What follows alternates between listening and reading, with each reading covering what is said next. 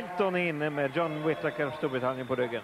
We love you, det är den här fangrupper som eh, finns här och som eh, man, man kan väl säga att det bildades en skola i Skandinavium. Han var ju eh, Skandinaviens mest eh, populära kille i våras, John Whittaker.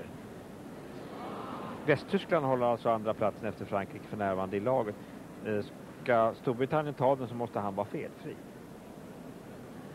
Ja, och är det någon som ska rida felfri på den här banan så är det naturligtvis John Whittaker på Henderson Milton. Men igår hade han ju konstigt nog ett nedslag. Konstigt nog. Det kan ju hända idag med. Han har ju press på sig. Fast det har han haft tidigare också.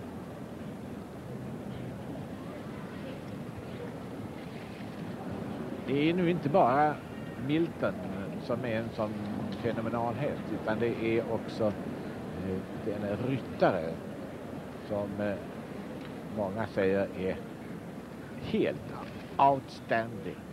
John Whitaker. De bildar en enhet som är oslagbar. World Cup-vinnare och Europamästare.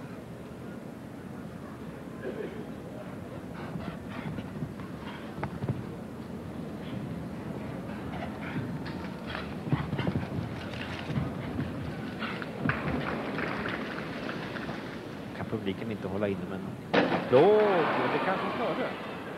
Det borde inte ha gjort.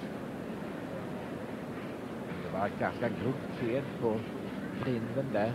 Och det är David Broman gjort samma fel på den där grinden just.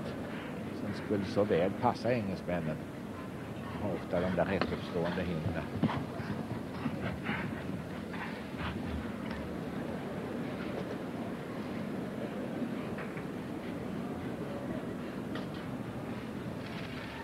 Jaha. Tiden 97.06 snuddar vid det var tillåtna. 8.05 ger åttonde plats. Men en rivning, fyra stycken poäng.